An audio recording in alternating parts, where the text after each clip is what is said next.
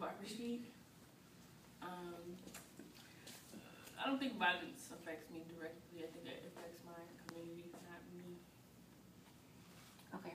Have you ever seen or been in a fight? Mm-hmm. Okay. In a fight, would you more likely to be a bystander or an instigator?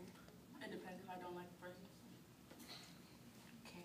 On a scale to of one to ten, how violent are you? Um, I, I think I am probably a seven. Yeah, I'm probably a seven, and then when I have like a violent outburst, then I'll go back to a zero. Okay. Does violence? How does violence make you view your community?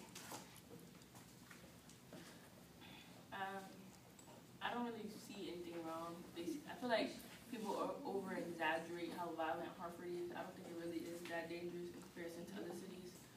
But I we have enough violence to make it a city, but we don't have like over unlike we don't have a lot of violence. Do you feel safe in your community? Mm-hmm. Do you enjoy fighting? No. Like yeah, probably yeah, yeah, yeah, yeah probably yeah. Um, what are some ways that you can prevent fighting?